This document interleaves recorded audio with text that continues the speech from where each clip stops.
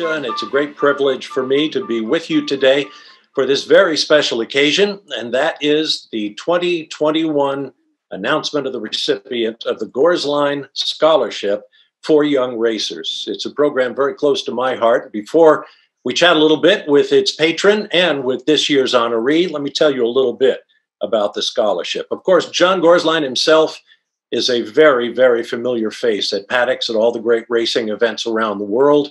Back in 1966, he founded and has run since the Gorsline Company, providing insurance programs for the high risk business that is motorsports. In the early 90s, they came up with the idea to help provide the resources that every young, aspiring racing driver needs, and thus was born the Gorsline Scholarship. I want to dwell for a moment on the list of honorees over the years. It has not been awarded every year, but most years since the very first honoree in 1994, Bryan Herta. And what you see when you look down the list of previous recipients is what I think is called proof of concept. The young drivers that were selected for the Gorsline Scholarship went on to great things. If you will permit me, I'll go to a list. I mentioned Bryan Herta, NASCAR stars Jerry Nadeau, whose career was cut short by injury, unfortunately, Ricky Stenhouse, Indy stars Buddy Rice, winner of the Indy 500, two time IndyCar champion Josef Newgarden, J.R. Hildebrand, sports car stars like Butch Leitzinger, America's Porsche factory driver Patrick Long, Colin Braun, Dane Cameron, and the most recent three recipients, all sports car stars Matthew Brabham, Madison Snow, and Dylan Murry in 2016. Since then, the award went on hiatus for a variety of reasons.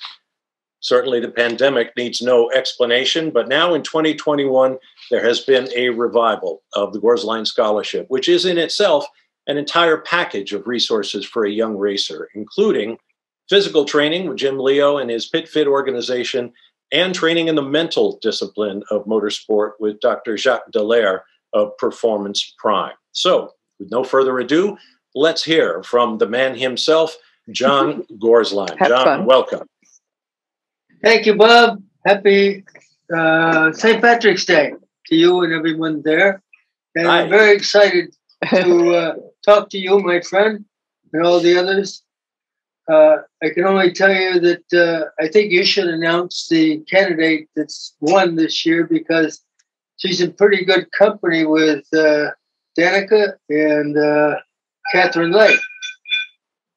Well, thank you for correcting me on that, John. I meant to mention the two previous female winners of the award Danica Patrick in 2002 and Katherine Legge in 2006. But before we meet this year's winner, and you've kind of let the cat out of the bag there, but I'll let you get away with it. Tell me a little bit about how the award came about, John.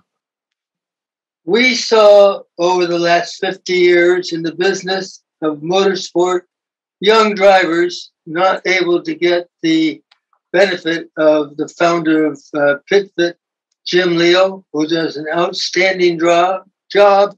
He actually trains uh, Scott Dixon, who does uh, marathons, etc., and Jacques Dallaire uh, from Canada originally, now in Charlotte, North Carolina. It's got the mental aspects of the game, which was designed around Ayrton Senna and Nance, um, Nigel Mansell. So it's a fabulous program to help up and coming drivers that have the fire in the belly and that want to really be a champion. Well, before we meet this year's uh, recipient, tell me a little about how difficult it was to choose this year's winner of the scholarship. That's a very interesting question. It was almost impossible because we go to a bunch of friends in the paddock.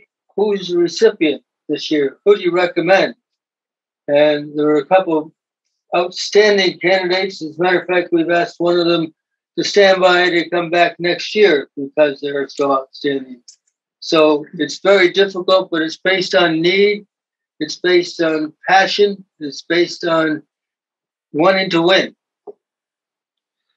The award charter basically says they're looking for demonstrated exceptional ability and something I find interesting, which is a professional respect for motorsports. What does that mean to you? Everything My passion is motorsports, and the people in it are what makes it so wonderful because they have the passion as well to be here. They're not here for the money, the fame. They're here because they love racing. Well said. Well, how about you do the honors, John, and introduce the 2021 winner of the Gorsline Scholarship? Well, it's a great honor for me today on St. Patrick's Day to introduce Courtney Crone, who is an outstanding young racer and obviously a future champion. She's raced motorcycles, she's raced uh, go karts, she's raced everything since the age of four. And she'll be competing this year in the IMSA class. And uh, I don't think we need to say much more about her. That not only is she a great driver, but she's a beautiful gal. And with that, we welcome Courtney Crone. Courtney, congratulations on the Gorsline Scholarship for 2021. How's it feel? You know, this is uh, this has been such an honor to just be a part of John and his entire um, group with the Gorsline Scholarship, and really all I can say is to John and the entire Gorsline company, uh, I would just like to express my deep gratitude to John and everyone at Gorsline Company for the nomination of this scholarship. It's just been such an honor, and to see my name against the likes of uh, the past recipients is just a true honor to be a part of. And and you know, as you guys were just explaining the passion for this sport, it just has run deep all these years in in my life and you know, my dad starting me in racing and and just being around racing my entire life and getting to know John and people like Bob and and just everyone uh, that has been you know helping me grow these last few years has been quite incredible and uh, very uh, very humbling. Well, let's tell the world a little bit about you. You've just turned 20 years of age. You've been racing since you were four years old and you've already touched lots of different competition vehicles. You've raced bikes, quarter midgets, you've raced on dirt and ovals, you've come to road racing. You're racing this weekend at Sebring in the uh, Prototype Challenge. Uh, what is it about that kind of diversity that appeals to you so much? Yeah, I think uh, the, the diversity comes from not really having a big budget for a plan. So um, I really got into to anything I could possibly get into, especially growing up. Um, you know, my dad he used to race uh, back in the '70s, Formula Ford.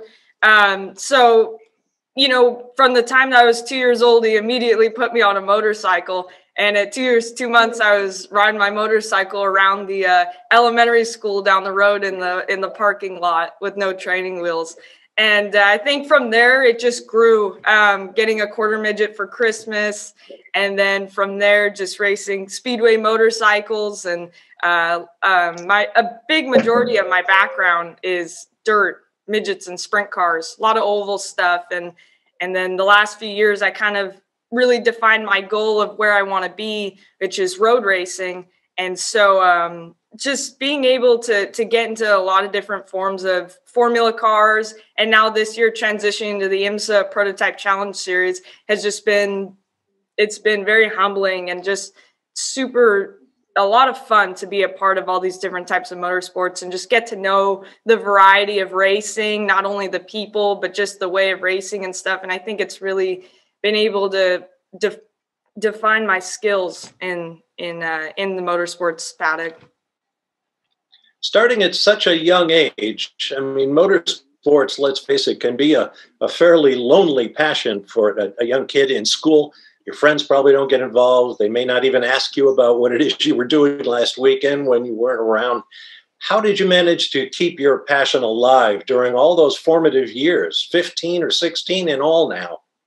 Yeah, I think I think it just comes from just deep down inside, I knew this is what I wanted to do. It's always been my passion, and nothing else has ever really mattered to me other than getting to be at the track, whether it's just hanging out with my dad, or it's racing, or just going to go watch a race. Um, I love all forms of racing, honestly. And so just being able to be in the pits or in the grandstands watching has always been um, been a big part of my life and you know going through school um, it was it was actually pretty fun because I got to miss a lot of school and focus on racing and but at the same time I was able to graduate with honors. So it was able to make me you know be able to do two things at once and try and do them both really well. So I was able to I think really help mature my mind and stuff like that um, to really focus on racing but yet be able to do kind of something else at the same time. But now it's great because now I can just focus on racing since I'm out of school. John, you're applauding. You're obviously very proud of your selection for this year's scholarship. Absolutely. She's the best. We'll see great things from her. Uh, Courtney, you follow in some pretty significant tire tracks, if you will, in previous honorees Danica Patrick and Katherine Legge. Does that apply any extra pressure to you? What do you see going forward? Yeah, no pressure at all. No, but um, honestly, I, am just gonna keep doing what I do best and what I know how to do. Um, I think going forward with the help of John's scholarship and getting to use PitFit and Jacques Dallaire, I think uh, it will really put me on a right track to keep going strongly for the next few years. Um, but I'm just going to keep keep doing what I do best, which is is racing and and just stay on track with that and just you know no added pressure, but I have a lot to live up to. So thank you, John. Where do you see your career going from here? What's your ultimate goal? My ultimate goal has always been IndyCar and the Indy 500. Uh, that will always be my main goal. But really, I think in these last few years, my eyes opening up to IMSA has been really eye opening for me. So I hope to keep some legs in IMSA as well. But uh, my big goal will always be the Indy 500. So as long as I stay within those two paddocks, I'll be very happy. You know, former scholarship winner Bryan Sellers once commented that perhaps the biggest benefit of the Gorsline Scholarship is John Gorsline himself because he knows absolutely everybody, and you can walk through the paddock and meet, you know, everyone right up to including the Roger Penske's of the world. Um, are you looking forward to that element of the program? I really am. Um, getting to know John over these last few years has been a huge help to me. And now getting to be a part of this scholarship program, I think will really implement him and his abilities. And hopefully we can, I can grow for sure from just using John and his connections and, and using Pit Fit and Jacques and um, putting that those strategies to my advantage, I'm sure will help a lot. Well, you certainly are a worthy honoree with the Gorsline Scholarship. John, any final words for Courtney?